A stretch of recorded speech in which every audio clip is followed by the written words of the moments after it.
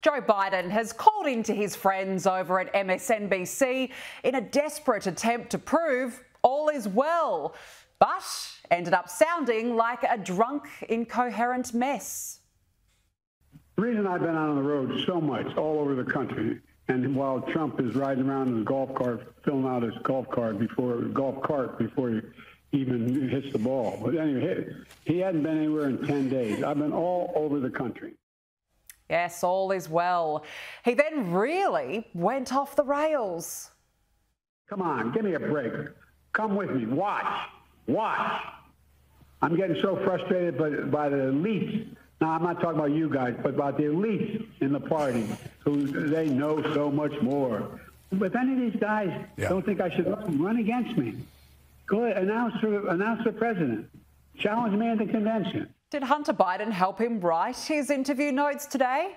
And just in case we needed more evidence, the White House is babying the leader of the free world.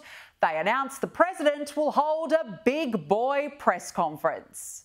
After that, the president will hold a press conference. I guess a big boy press conference yes. is what we're calling it, um, and take some questions from y'all. This week, President Biden will speak to national labor leaders of AFL CIO, host the NATO summit to show the unprecedented strength of our alliance, hold a press conference, a big boy press conference. Yes, he's a big boy now. Will they teach him to potty train next?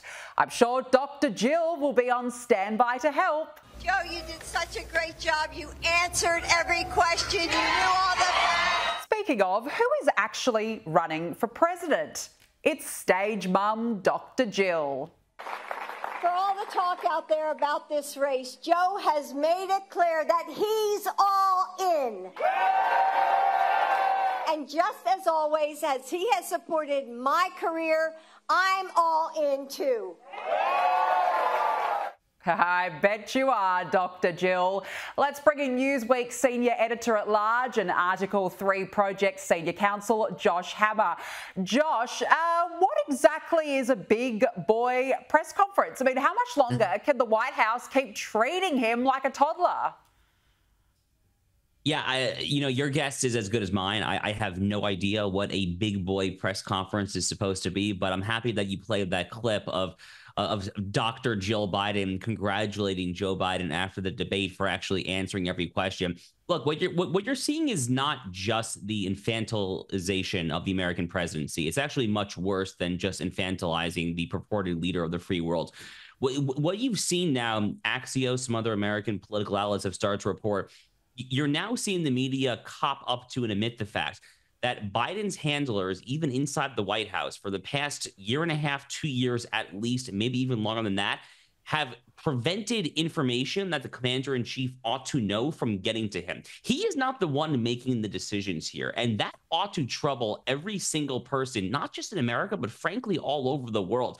And, and, and it's just deeply ironic, uh, uh even above that, because this is the Democratic Party. They're making a whole stink of the fact that Donald Trump allegedly represents a mortal threat to American democracy. They call themselves the party of democracy. I, I mean, don't look at the fact that they're prosecuting and trying to incarcerate the political opposition, but even holding that massive thing aside for a second, how is it democratic to not even know who was running the country? How is it democratic to now openly talk of trying to do a coup at the convention and topple the guy that your own primary voters just voted for? That would be the antithesis of democracy, at least as I understood. So there's more wrong here than I possibly could get to in, in, in our conversation. But these clips, at a bare minimum, ought to be deeply disturbing.